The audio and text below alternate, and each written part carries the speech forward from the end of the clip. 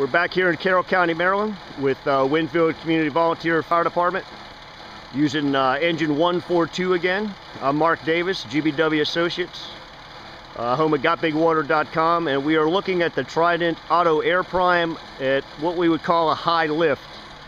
We have uh, three lengths of six inch hard sleeve coming off of this bridge down to a box strainer in the stream.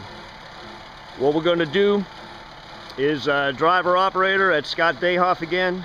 He is going to prime that pump or he's going to engage the pump, run it up to 1,000 RPMs. It's a 1,500 gallon minute pumper using six inch hard sleeve. And once he hits that auto prime, we're going to start a timer and see what it takes to uh, get this thing prime.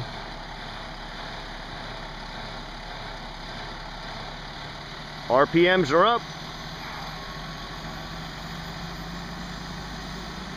Got it at 1,000. And it started. You can hear the air primer. So we'll try to see, we can see the water coming up in the tube. There it is. It's on its way to the coupling, almost, almost at that last coupling. Almost there, almost there.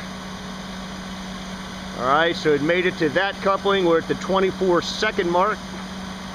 Now it's coming up closer to coming over top of the bridge. Hard to see in the sunlight. Maybe that's a better picture. So there it is right there. We're at 39 seconds. You can see some air bubbles, so that's going to be coming probably from one of them couplings. Notice the driver operator's touching nothing on that pump panel.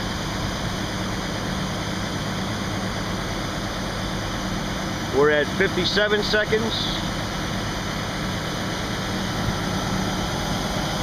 Air primer still working, automatic feature. Remember gravity's trying to pull this water back.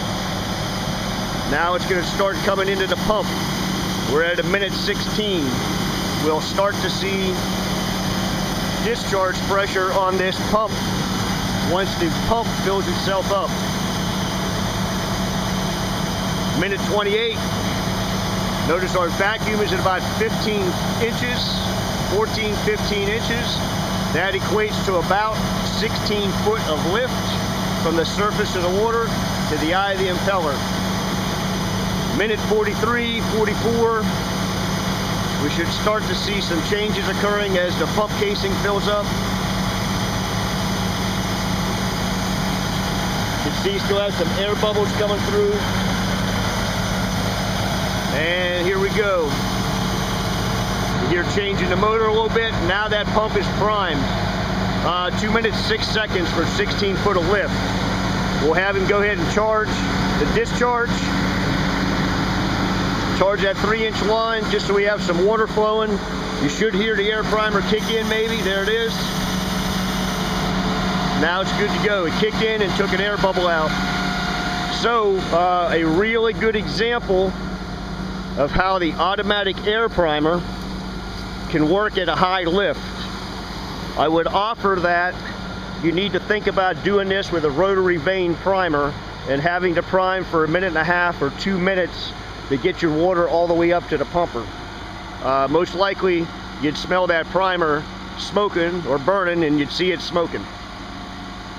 So from the uh, perspective of this, the uh, high lift does not appear to be a problem for the Trident automatic air primer.